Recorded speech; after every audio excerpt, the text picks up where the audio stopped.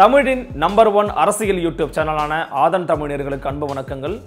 இன்றைக்கு நம்முடைய ஆதன் தமிழின் கொடிப்பறக்குது நிகழ்ச்சியில் நாம் எதை குறித்து பேச போகிறோம் அப்படின்னா திமுகவினுடைய உத்தேச அமைச்சர்கள் பட்டியல் குறித்து தான் பேச போகிறோம் பத்து ஆண்டுகளுக்கு பிறகு அதுவும் தொடர்ந்து எதிர்க்கட்சியாகவே கட்சி நடத்தி கொண்டிருந்த ஒரு கட்சி திராவிட முன்னேற்ற கழகம் தற்போது ஆட்சியில் அமர போகிறாங்க ஒரு சட்டமன்றத்திற்கு மிக முக்கியமான நபர்கள் எதிர்க்கட்சின்னு சொல்லலாம்.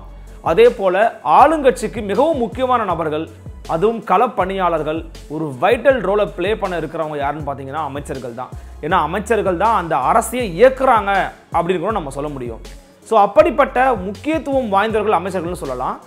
ஏன்னு பார்த்தீங்கன்னா இந்த இரண்டாயிரத்தி இருபத்தி ஓராம் ஆண்டு தேர்தலில் கூட அதிமுகவின் மீது ஒரு எதிர்ப்பு இருக்குது அதிமுகவை மக்கள் விரும்பல அப்படிங்கிறதுக்காக பல காரணங்கள் அடுக்கப்பட்டாலுமே கூட அவர்கள் தோல்வியே அதற்கு ஒரு உதாரணமாக திகழ்ந்தாலும் கூட யாருடைய தோல்வி மிகவும் ஒரு பெரிய பாதிப்பை உருவாக்குச்சுன்னு பார்த்தீங்கன்னா பத்துக்கும் மேற்பட்ட அமைச்சர்களுடைய தோல்வி தான் ஸோ அமைச்சர்கள் கிட்டத்தட்ட மற்ற தொகுதிகளுக்கே போகலை அவருடைய தொகுதிக்குள்ள தான் சுருங்கி இருந்தாங்க அப்படிங்கிற விமர்சனங்கள் முன்வைக்கப்பட்டுச்சு.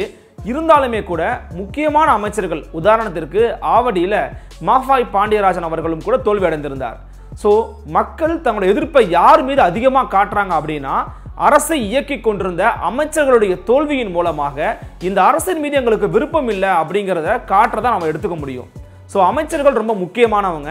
அந்த அடிப்படையில் அமையவிருக்கக்கூடிய திராவிட முன்னேற்ற கழகத்தினுடைய அரசாங்கமானது எப்படிப்பட்ட அமைச்சர்களை யாரையெல்லாம் முன்களத்துக்கு கொண்டு வர இருக்கிறாங்க அப்படிங்கிறது ரீதியில் ஒரு உத்தேசமான அமைச்சர்களை பற்றி வெளியாகி இருக்கிறது. இது அதிகாரப்பூர்வமான பட்டியல் கிடையாது. வரும் ஏழாம் தேதி திரு மு க ஸ்டாலின் அவர்கள் முதலமைச்சராக பதவியேற்ற பிறகுதான் இது உறுதியான தகவலா அப்படிங்கிறது நமக்கு தெரிய வரும். இருந்தாலும் இது ஒரு எதிர்பார்ப்புகளை உருவாக்கி இருக்கிறதா அப்படின்னு கேட்டிங்கன்னா நிச்சயமாக உருவாக்கி இருக்கிறது. காரணம் அது இடம்பெற்றக்கூடிய பெயர்கள் தான். ஒரு சில முன்னாள் அமைச்சர்கள் பல புதிய முகங்கள் முக்கியமாக பெண்கள் போன்று இடம்பெறலாம் அப்படிங்கிற மாதிரி சொல்லியிருக்கிறாங்க. ஸோ அந்த லிஸ்ட்டை குறித்து நாம் இன்னைக்கு பார்க்கலாம்.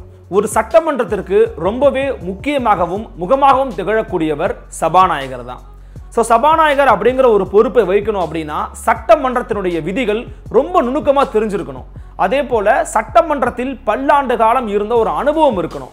அந்த அடிப்படையில் காட்பாடு தொகுதியில் நின்று வெற்றி பெற்ற திமுகவினுடைய பொதுச் செயலாளராக பதவி வகித்து வரக்கூடிய திரு. துரைமுருகன் அவர்கள் தான் இந்த முறை தமிழக சட்டமன்றத்தினுடைய சபாநாயகராக அமர்வதற்கான வாய்ப்புகள் இருப்பதா சொல்றாங்க.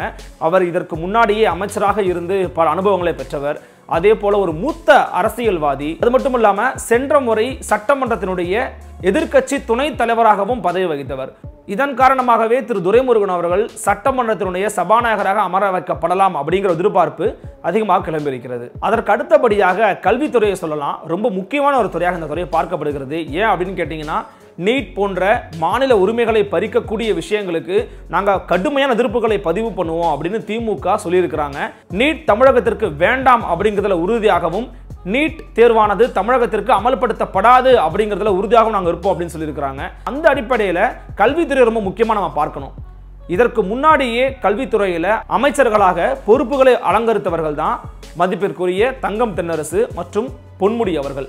ஸோ இந்த முறையும் உயர்கல்வித்துறைக்கு அமைச்சராக திருக்கோவிலூர் தொகுதியில் நின்று வெற்றி பெற்ற மரியாதைக்குரிய பொன்முடி அவர்கள் அமைச்சராக இருக்க வாய்ப்புகள் அதிகமாக இருக்குன்னு சொல்கிறாங்க அதே போல பள்ளிக்கல்வித்துறைக்கு திருச்சுழி தொகுதியில் நின்று வெற்றி பெற்ற தற்போதைய நாடாளுமன்ற உறுப்பினர் தமிழச்சி தங்கம்பாளையனுடைய தம்பி மதிப்பிற்குரிய தங்கம் தென்னரசு அவர்கள் அமைச்சராக பொறுப்பேற்க வாய்ப்புகள் இருக்கிறதா சொல்றாங்க. இந்த முறை பார்த்தீங்கன்னா திமுக தங்களுடைய கோட்டையாக கருதிய சென்னையை மீண்டும் கைப்பற்றியிருக்கிறாங்க. சென்னை முழுக்க திமுக மற்றும் திமுக கூட்டணிக்கு ஒரே ஒரு இடத்துல வேலைச்சேரியில் வெற்றி பெற்றிருக்கிறாங்க.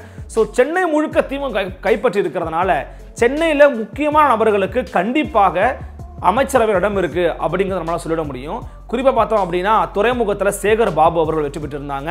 சைதாப்பேட்டையில் கடும் போட்டி நிலவும் அப்படின்னு சொல்லப்பட்ட இடத்திலுமே கூட மா சுப்பிரமணியம் வெற்றி பெற்றிருக்கிறாரு.